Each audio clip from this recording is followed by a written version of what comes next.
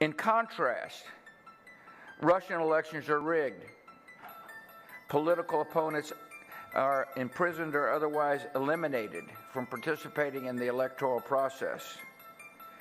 The result is an absence of checks and balances in Russia and uh, the decision of one man to launch a wholly unjustified and brutal invasion of Iraq. I mean, of Ukraine.